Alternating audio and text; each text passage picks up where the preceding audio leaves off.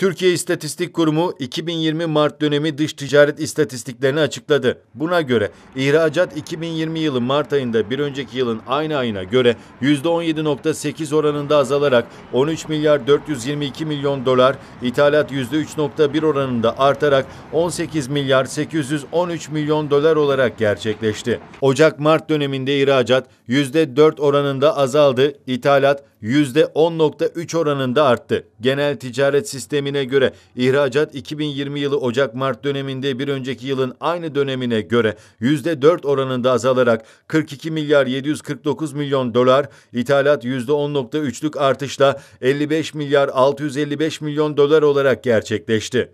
Mart ayında dış ticaret açığı %181.6 oranında artarak 1 milyar 915 milyon dolardan 5 milyar 391 milyon dolara yükseldi.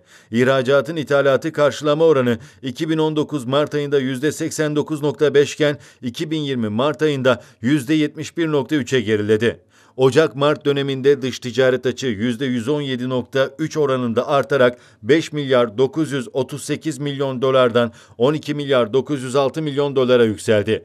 İhracatın ithalatı karşılama oranı 2019 Ocak-Mart döneminde %88.2 iken 2020 yılının aynı döneminde %76.8'e geriledi.